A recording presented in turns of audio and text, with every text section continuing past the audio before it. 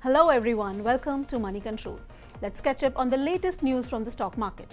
From significant investment to major deals, fundraising and appointments. Here's a quick look at which stock will be in focus in today's trade.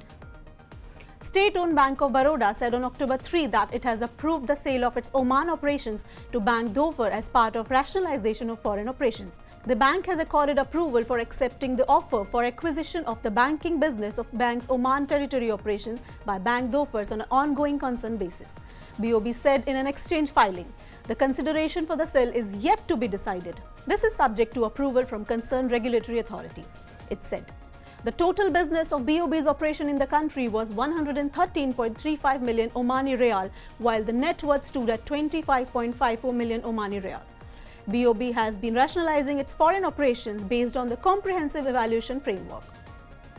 The customer franchisee Bajaj Finance increased sharply to 92.09 million as of the September 2024 quarter, compared to the 76.56 million as of September 2023 quarter.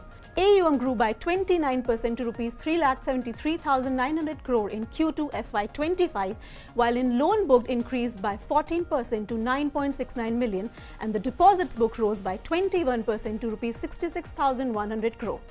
Net liquidity surplus stood at rupees 20,100 crore as of September 2024. Shilpa Medicare's 100% subsidiary Shilpa Pharma Life Sciences received certificate of suitability from EDQM for API desmopressin. Desmopressin is a synthetic peptide manufactured by Shilpa Pharma Life Sciences through solid phase synthesis. It helps to reduce frequent urination and excessive thirst. This is used to treat central diabetes insipidus and bedwetting.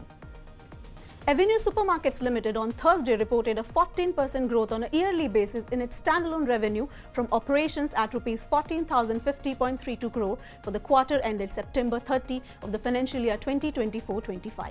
The D-Mart supermarket chain operator has reported standalone revenue of rupees 12,307.72 crore for the second quarter of the fiscal 2024, while revenue for the same period in FY23 stood at rupees 10,384.66 crore. Also, the company posted revenue from operations at rupees 7,649.64 crore for July-September's quarter in the financial year ended March 2022.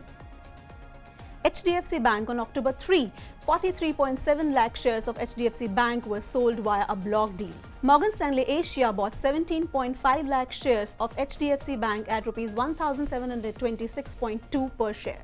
Citigroup Global Markets Mauritius Private Limited also purchased 26.25 lakh shares at the same price. The seller was BNP Paribas Financial Market which sold 43.75 lakh shares in two transactions. At close, the stock was trading at rupees 1681 around 2.62% lower. So there you have it. If you find this video helpful, don't forget to like, share and subscribe and hit the bell icon for more updates. Thanks for watching and see you next time.